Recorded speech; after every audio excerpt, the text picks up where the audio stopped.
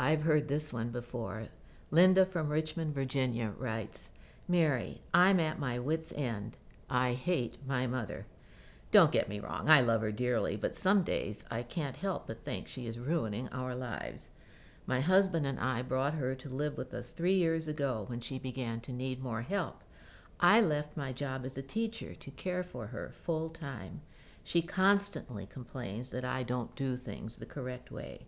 Her eggs are overdone. Her bath water is too cold. I don't take the fastest way to the hair salon. Nothing is ever good enough for her.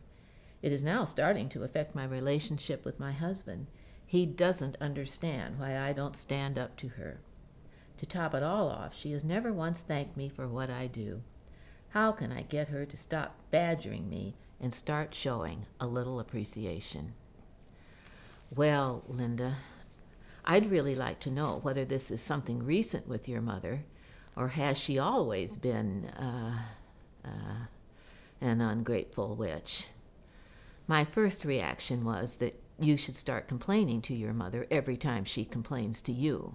You could complain about how much you miss teaching, how long it's been since you had time to get your hair done, and how your friend Sharon put her mother in a home and now has time for a life again. You could do this, but that would be petty. Fun, but petty. I do think it would be okay if you replied to every complaint with a smile and said, Mom, you know you're lucky to have me. Now stop fussing or your next bath will be Arctic. If Mom can't get a rise out of you, which seems to have become an indoor sport for her, the game will not be fun anymore. Good luck, Linda. Música